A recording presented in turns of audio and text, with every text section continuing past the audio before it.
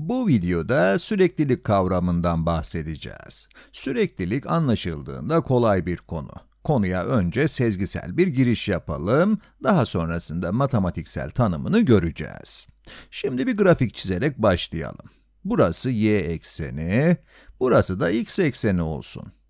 fx fonksiyonumuz böyle bir fonksiyon olsun. Evet.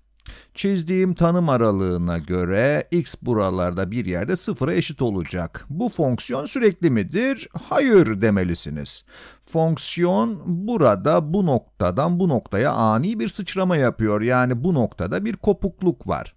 Sürekli bir fonksiyon değil. Fonksiyon x'in bu değerinde süreksiz. Buna süreksizlik diyoruz. Evet. Buradaki gibi olan süreksizliğe sıçrama süreksizliği diyoruz.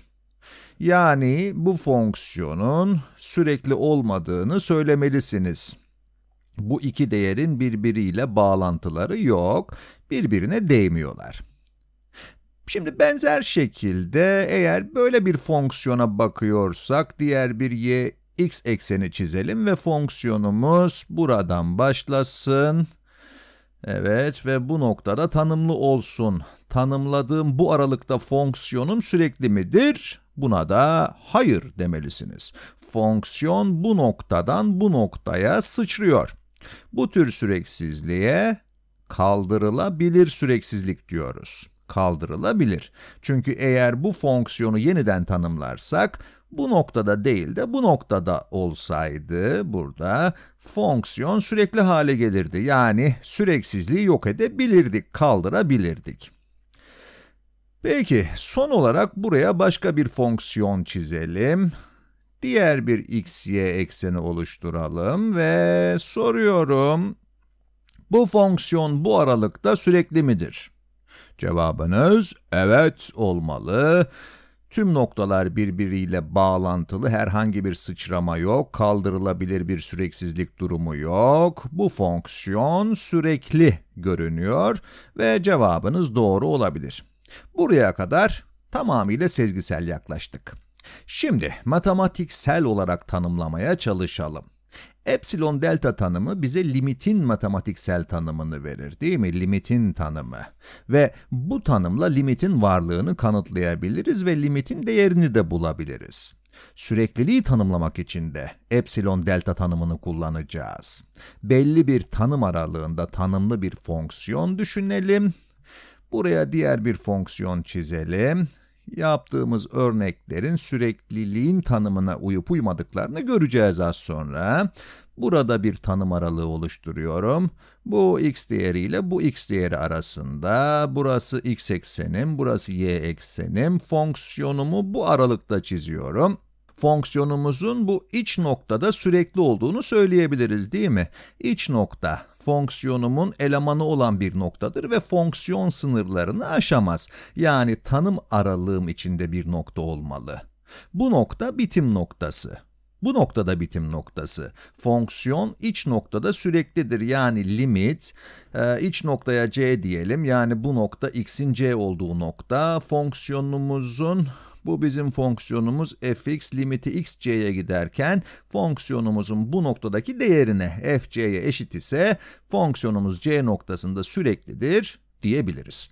Söylemek istediğimiz şey bu nokta fc noktası fonksiyonun limitiyle yani bu noktaya sağdan ve soldan yaklaştığımızdaki değerle aynıdır. Şimdi bu tanımı ilk yaptığımız örneklerde deneyelim. Bu fonksiyonda burası c noktamız ve fc burada. Limit fx x c'ye giderken eşittir f c'ye demeliyim. Bu eşitliğin doğru olması için sağdan ve soldan yakınsamasına bakacağız değil mi? Eğer fx'in x c'ye sağdan yaklaşırken limitini alırsak bu fc'ye eşittir ama fx'in soldan limitini alırsak bu xc'ye soldan yaklaşırken fx'in limitine eşit değil. Soldan yaklaşınca fc'ye ulaşamıyoruz. Yani bu eşitlik sağlanmaz. Limitin fc'ye eşit olması için her iki tarafın limitinin de eşit olması gerekliydi. Bu nedenden bu örnek süreklilik tanımını sağlamadı diyebiliriz. Bu istediğimiz bir sonuç çünkü sağlamadığını önceden sezgisel olarak biz söylemiştik zaten, değil mi? Şimdi bu taraftaki örneğe bakalım. Soruyu ilk baştaki haline çevireyim. Tamam. Buradaki limit ne olacak? Burası c noktamız. Limit fx x c'ye giderken l'ye eşit olsun ama açıkça görüyoruz ki L, FC'ye eşit değil. FC burada. Yani bu sefer de tanım sağlanmadı. Limit fx xc'ye giderken yani burası fc'ye eşit değil. Bu da süreklilik tanımımıza uymadı. Buradaki fonksiyona baktığımızda fonksiyonun herhangi bir iç noktası süreklilik tanımımızı sağlıyor. x'in bu noktaya sağ ve sol taraftan yaklaşırkenki limiti fonksiyonun bu noktada aldığı değere eşit olacak. Bu tanım fonksiyondaki tüm değerler için de geçerli. Şimdi fonksiyonun bir iç noktası için sürekliliği tanımladık. Sıra sınır noktalardaki veya bitim noktalarındaki sürekliliğe bakmakta. Bitim noktası. Önce soldaki bitim noktasını düşünelim. x, y eksenimizi çizelim, tanım aralığımızı çizelim.